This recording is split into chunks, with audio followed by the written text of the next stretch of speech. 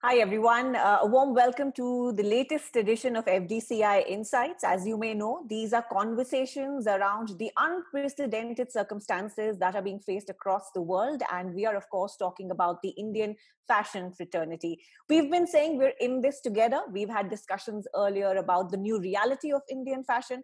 We've been speaking to emerging designers as well uh, who are in the nascent stages of setting up their business. And today we are talking about a very critical link between the designer and the customer.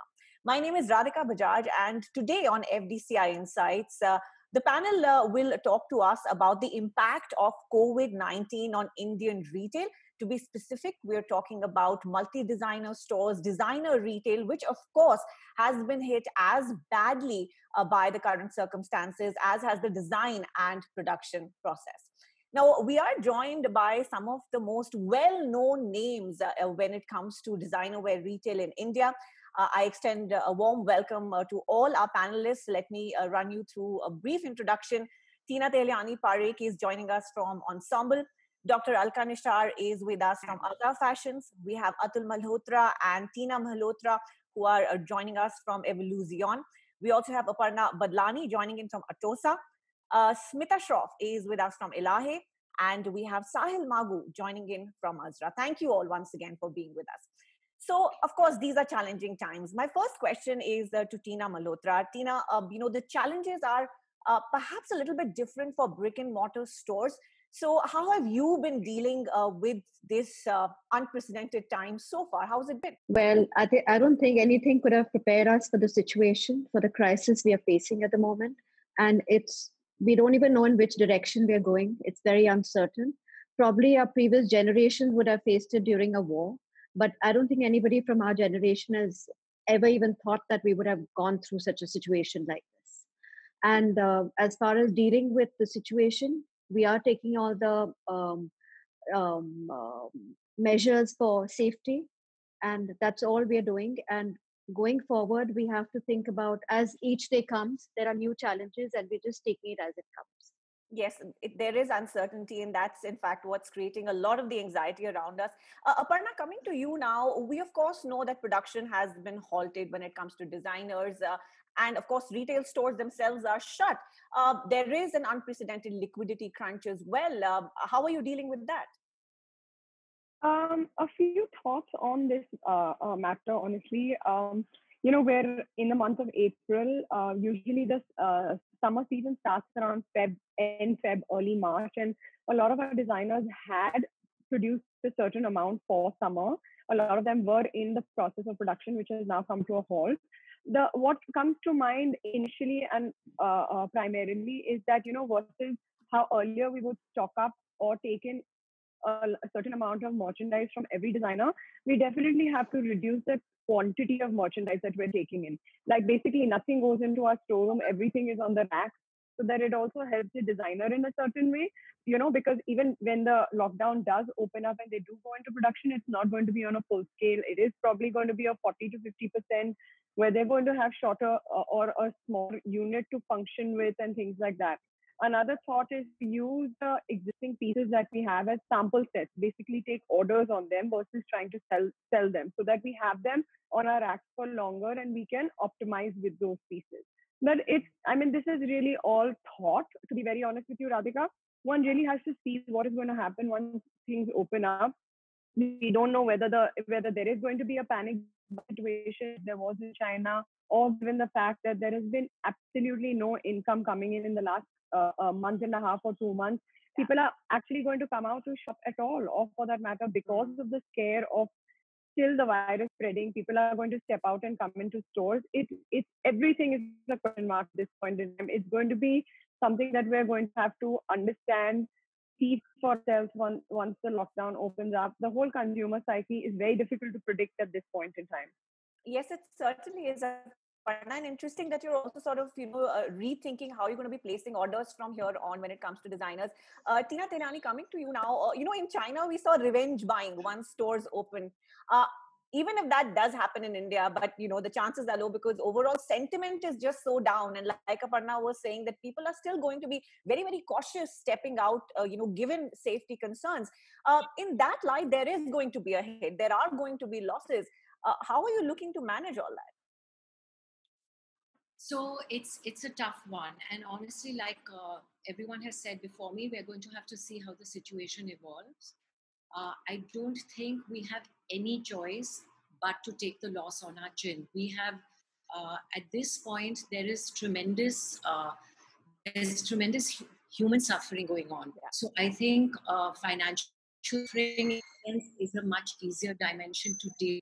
What I'm happy to say is that I think for the first time, uh, we as multi-brand retailers have together, spearheaded by Tina Malhotra, and we're going to come together and uh, try and think uh, and execute a plan which is fair to all the state stakeholders. We have mm. people working with us, we have designers that we work with, uh, and so thinking about all dimensions, we're going to together come up with a plan, just to whatever extent going to, um, in some way, soften. But that we have to take a blow. Uh, there is no there is absolutely no choice in this matter. And we don't know for how long. We don't know when the stores reopen uh, whether people are going to come out and shop. You know i think people will be very worried about gathering together. So a lot of the functions that they buy clothes for will get postponed um, so where I, I think it's going to be I think gratitude is the best balm. All of us, all our companies, all the people who work for us, they are all safe and healthy today. I think we have to focus on that at this point. uh, you know that's a, a, very nice way of putting it tina but you also brought in uh, something very interesting about human suffering time like this how are you personally managing teams because keeping the morale up at such a time is also such a difficult task so uh, you know i think uh, for me i think what's very important is to use this time to think about our businesses and figure out how we are going to reimagine them because I think the world after COVID is going to be very different from the world before COVID. So staying in touch with the teams, uh, you know, technology has helped a lot. But obviously, those who work on the shop floor, there's very little they can do right now because for them, they need, uh, you know, physical contact with the merchandise and the and the buyers. But we're doing whatever we can, staying in touch with the teams and trying to do whatever uh, whatever we can uh, from behind the scenes to keep the morale up and to you know use this time i think to also think out of the box. I think nobody really gets uh, gets a break honestly. We're all on a treadmill. Everybody knows retail is a tough game and you have to be at it every day. So i think you know i think we should also look at this positively and try and take this time out to to sort of rethink our lives and also to to think about how we, we're going to live more sustainable lives after this because this is this is not going to be the last time this happens if we continue living the way we are yes there is a, a, conversation now emerging around slow fashion perhaps being the way. Uh, dr nishar are you also sort of thinking uh, about what changes uh, need to be made going ahead? Uh, for example uh, at aza fashions uh, how is how are priorities changing? Is digital becoming you know even more important? So, first of all, a big and a socially distanced and a virtual hug to everybody. it's actually, we woke up in a completely different world uh, from where we had slept. And it's a big shake off for all of us from our comfort zone. Uh, what has happened is we are still trying to figure out the challenges and the priority. Priorities have changed, the focus has changed. So one is trying to understand the challenges uh, as I see on the macro level, we deal with so many designers, and each designer is like a small scale industry worth business individually for Aza. So, if I think in terms of the livelihood, uh, and when all of us put together over here, there are thousands of live households where we are sustaining them. Yes. So, if we count the head count, it will be tens of thousands of people. And currently, the focus is we have to sustain them how are we going to sustain them it's not an easy task because talking about the customers what has happened and you hear about the economic recession the plummeting stock markets the investments have gone down there is so much scare, fear, so much trauma, agony going around, and people are talking about layoffs, furloughs, salary cuts. No matter what, this messes up clients' psyche. Yeah. So, on a normal day, if somebody had asked me, What's your focus? I would have very easily, sitting in my chair, said, Oh, we deal in occasion wear, and this is the next season, and these are going to be next collections, and these are the next launches. But right now, I really don't know what are the occasions going to be. I really don't know what is going to happen to the orders that we have placed. Hmm. First of all, the sudden abrupt lockdown, the clients' occasions have been messed up. The orders which we process, the designers are processing. I don't know what kind of cancellations we are going to deal with. So there are lots of questions, lots of scare. But yeah, we have to sustain, we have to reinvent ourselves, we have to rethink and revive ourselves. Well, talking about the digital platform, it's an uh, ongoing effort at azafashions.com, our e-com platform. Uh, we keep trying to enhance our customer experience. So that goes on without saying. But in the change scenario, again, with so much time at stake, uh, at on their hands, the customers are going to be well aware, well informed, spoiled for choices, more demanding. It's going to be difficult to hold their attention and get them to click the buy button itself is going to be a challenge. Hmm. So it's going to be a game of what's the technical platform you are using, what are the processes you are following, what's the perceived value of the product that you are selling. Hmm. Huh, no easy answers, tough challenges. Yes. But we have to hang in there and we have to sustain, we have to rejuvenate and revive. Uh, that's a very interesting uh, perspective. And an important point uh, that you raised was that you know as uh, multi-brand uh, stores you know there is a chain of people that you're eventually really supporting. You know it's the designers it's their teams as well. Uh, so this question is for atul malhotra. Atul you know when things get to normal and we're certainly hoping that they you know get back to normal at the soonest mm. Uh, how are you looking to support designers uh, you know especially the ones who are in the earlier st- uh, stages of setting their businesses uh, uh for example are you looking to offer full payments on, on orders could that be an option well, I think from what everyone has said till now, the first issue is regarding the survival of the industry itself. And each one of us in our ecosystem supports, you know, a large uh, cross section of designers, both senior as well as uh, you know established designers as well as designers who you know come new into the fold. So as multi-brand stores, we first offer a platform for these you know designers as a platform to you know take their entire design further. But under these circumstances, when our survival itself is under a big question mark, you know, like like even Tina said, the point is that we survive on a day to day basis. Any retail business is surviving on a day to day basis. So, if we can come together as an industry of multi brand outlets and figure out a fund, this is something that I would talk to the FDCI to set up a fund for, let's say, new designers who've been looking at opportunities of, you know, starting off in the coming years or the coming seasons that's one possibility that we have. We of course in our other section side of the fashion business are worried about our workers. Like alka just mentioned our first thing will be for the survival of those you know those workers and making sure that they get something back from us. We we also run a large export industry and we've got 2500 workers there. So first thing was to take care of their you know salaries etc not to cut anything from there. But how long do we go on under these lockdown conditions to even think about the future of other businesses unless we are able to decide what comes up next? Mm-hmm. so i there are a couple of ideas which you know we would like to share. One is that the export industry has seen a huge turn down the cancellations have been in billions of dollars one suggestion which we can take up through the FDCI is that they have a lot of spare capacity today. So maybe it's possible for the designers, for the FDCI to tie up with exporters and see if this spare capacity can be used for the purpose of offering better value. Because once the customer psyche has changed to such a large extent, we don't know post COVID what is it that the customer is going to expect from us, right?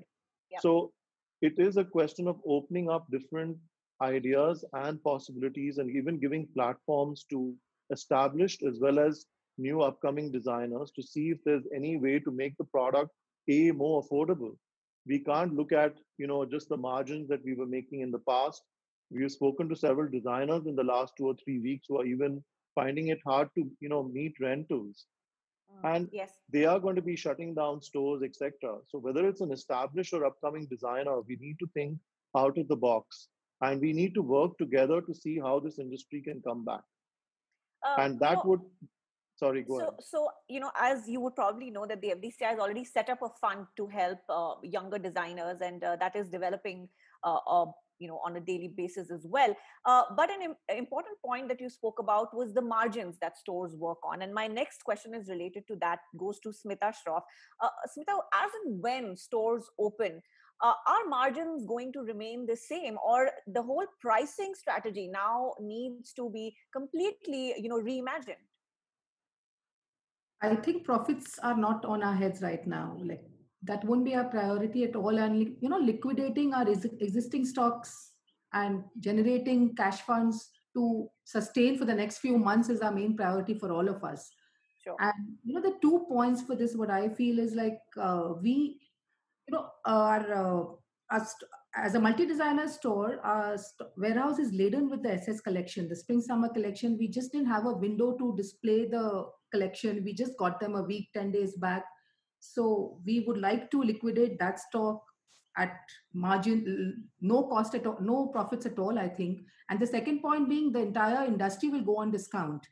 So the discount mindset will spread faster than the pandemic also, you know. So we all have to join the, pan, uh, the bandwagon, I suppose, then Mm. and we at Elahe, like I think as a brand, we are trying to understand how do we stand out uh, apart from the discount structure also. How do we stand out as a brand? Like how do we attract our customers and gain back their trusts? Because now the main focus is going to be on sustainability. There'll be intensified discussions on uh, you know materialism, overconsumption, and the and the focus you know the, the people who we are thinking of at this point is the millennial consumers and their concern over the environment was already heightened before the pandemic struck so we have to reinfuse uh, values in our products now and think about how to attract our customers the cash strapped cash strapped customers back again. And discount is not the only uh, solution according to me. We need to remodel our business strategy make new calendars fashion calendars in sync with the new the new normal i think the new normal yes we've all been uh, talking about that. Um, uh, you know sahil coming to you uh, we have been talking about uh, you know job cuts across sectors. In in the fashion industry are you seeing that happening already? Uh, in your own personal uh, personal operation uh, are you looking at scaling down things right now Well, I'll tell you, Radhika, as you earlier mentioned, we are a very important link in the whole industry, right? We are like uh, middlemen in a way to the end consumer and the designers. and I think all the panelists sitting here, all my seniors, we all essentially come in the luxury segment. Yeah. And uh, luxury comes with an experience, right? Uh, for example, a client walks in uh, to buy an outfit from many of our stores, and another client walks in. We can't have the same client servicing agent be sharing their experience by handling two people at a time. So I think downsizing at this point is not a possible option because we can't take away the whole luxury experience that we all have built together as an industry over the years. Hmm. I think there is pre-sales, there's sales, and there's post-sales. So I think we need to come a little midway, and I think the next two quarters are going to be very crucial for us to see how good or bad things get. You know, if it gets really people really hop onto the whole concept of conscious buying and slow fashion, and you know the numbers really consistently dip in all the stores and in the industry then I think we'll have to take some harsh decisions and maybe look at downsizing a little bit. But I think all our teams are very dear to us. We all are brands because of the hard work we all put in together. I think we need to walk a little bit of mid ground right now. Maybe look at slight pay cuts and sustain as a whole team together and, you know, like hand in glove sort of an arrangement. And as earlier said by people, weddings are getting cancelled. So we don't really know how big the whole business turnout is going to be in the next couple of quarters. So I think the the whole big line is wait and watch, you know, and then take these big decisions. Right now, I think immediate impact is not happening. We need to hang in together. Yes in this together like we've been saying at the fdci so uh, you know final two questions uh, are now coming up and i'd like inputs from all our panelists on this. So to begin with um, you know tina malhotra this goes out to you. Uh, customers will need encouragement to spend money especially because we're dealing with the luxury segment here uh, like sahil pointed out. So what are some of the things that retailers such as yourself can do for the customer Okay, first thing, I think it's a very sensitive situation at the moment, and we are all in this together, and nobody really, we have to respect the sentiments, and we cannot really push people, and we have to just let it be. That's the way I think. And the second thing is, Mhm. once we know in which direction we are headed, then we have to take it. Mm. It's very city centric. Like I see a huge difference between Chennai, between Bangalore, between Delhi about this whole shopping thing and about the sentiments of the pandemic and what's happening. So we have to take it city wise. And the third thing is for us, we're not online yet, and I have to get online. I have to make that huge thing happen. So that's my way forward. Yes i yes uh, i think uh, digital is increasingly gaining importance uh, and uh, you know it's nice to hear that you're also going that way because uh, at the end of the day that's what gives access to many more customers so uh, that's a good uh, route to take like we've been saying And also, we have to take the, we have to, sorry, we also have to go with the pulse of the market. Like uh, Smita was saying, there are going to be lots of discount sales and things like that. So we have to see in which direction it's headed and take a call as it comes. Yeah. Right, absolutely. Uh, so, Dr. Nishar, you know, coming to you now, are discounts going to be the only way, or what are the other ways that one can uh, look at attracting customers and, uh, you know, making them buy now is going to be very, very challenging? So, yes, making them buy is going to be extremely challenging. Uh, before we rush into the revenue generation model, I think there has to be a time for healing, a little bit of a humanitarian touch, and hope for the peace and well being to emerge. That's the first thing. Personally, we have our off season discounts twice a year, which is the norm of the industry, and we Mm. do that. But rushing into the discounts, uh, incurring losses, I really don't know whether that's a wise thing to do because, Mm. frankly, we all have selected our product very carefully. If the product was good two months back, why is it not good today? And we are talking about slow fashion, eternal fashion, multi-purpose fashion. While going for the online discounting, which is a very prevalent uh, thing to do right now, but frankly, how long can the online companies go on incurring losses, burning somebody else's money, and when the venture capitalists are going to ask for the real revenue and the real profit generated and not the losses made?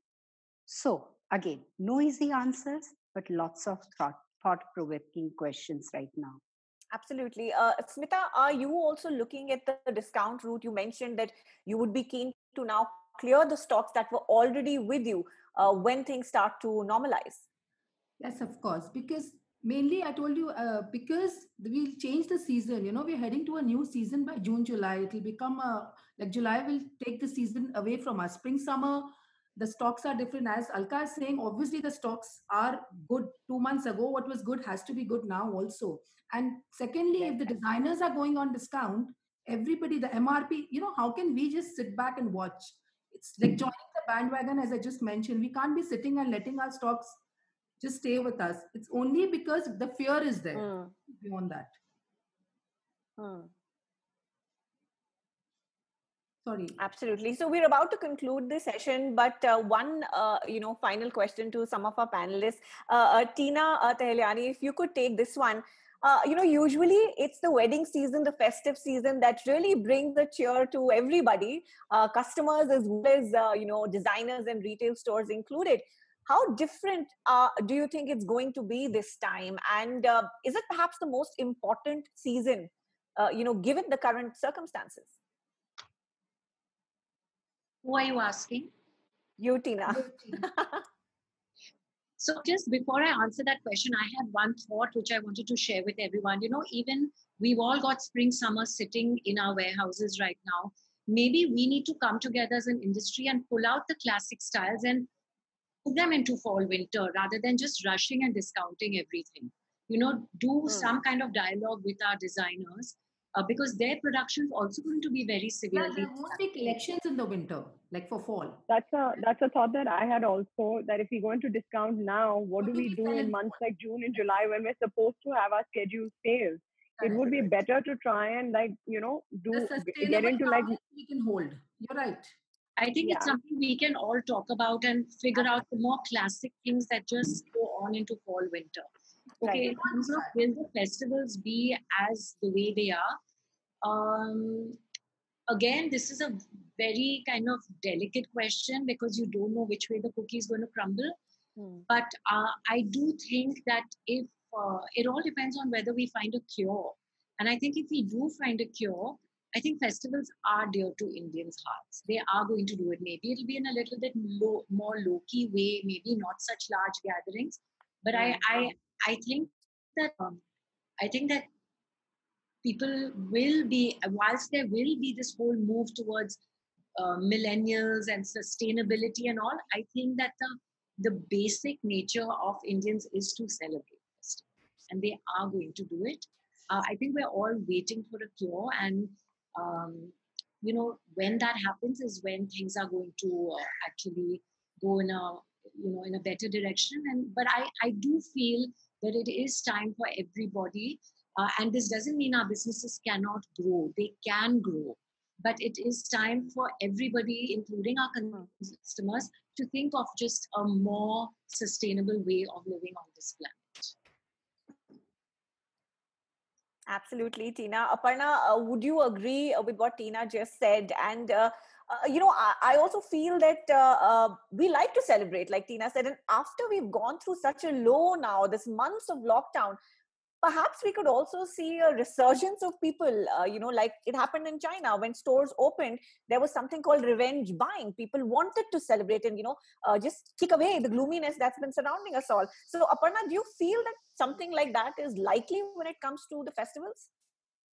Um, I do certainly think that there is a possibility of it. I mean, uh, a lot of our customers also are friends and we are interacting with them or talking to them on a regular basis and things like that. And everybody is honestly really itching to get out, meet with their friends, family, just like, you know, even even if it means like a group of four, five, six people. But yes, that urge, you know how it is as Indians, we're very social people we're not used to living apart, living in our apartments with just like, you know, our immediate family and things like that. So one does hope. And of course, we're so big on festivals and so huge on celebrations and things like that. And that's why we are Indians, as a matter of fact. And you could tell this even with a two uh, uh, days that Mr. Modi chose for having like your, uh, you know, clapping sessions or even burning the candle sessions it became such an enormous it was almost like a celebration so to speak because people were so fed up of sitting in their houses they just needed a reason to come out and like you know do something together so as a result of which i personally also like tina completely believe that even though it would it would be slightly muted or on a smaller scale the festivals will definitely be celebrated and one can only hope that you know we are able to flatten the curve and we do see a, a, a vaccine or a cure sooner than later so that you know we can all um, kind of uh, uh, get back to our uh, the new normal as we can say but yeah, yeah. definitely yeah. one hopes having a cure would just be so reassuring right and just yeah. would just give us all encouragement to get out um, uh, sahil giving you the final word here uh, again we know these are difficult times but if there's one mantra that you're living by right now especially when it comes to your business what is that uh, I'll be honest with you. I have been uh, hosting a lot of these uh, video calls with my team, with friends and family, catching up on lost time because we all are so uh, involved in our businesses. We don't really get to do this on a usual. It's the longest holiday all of us have celebrated in a long, long time. So I think I've been just uh, practicing a lot of meditation and actually believing everything is going to be okay sooner than not. As Tina ma'am and everybody else said, the coming season ahead, we have Rakhi coming in, we have all the celebrations coming in. It's time to get together with family, hopefully look at brighter business times and, you know, just make sure everything is okay. And as we have been helping each other, continue doing that as a new normal now, not just do it in bad times anymore. So I think it's it's it's a start of a new Absolutely. us in a way. Yeah. It is, and uh, so glad to have all your opinions, your thoughts today on how we can all collaborate and come up with solutions, come up with a plan so that we can all emerge out of this uh, happier, maybe changed people with changed businesses, but happier and live in a more sustained way, as is the call for today. Thank you all so much for joining in. And of course, FDCI will be back with another edition of FDCI Insights very soon.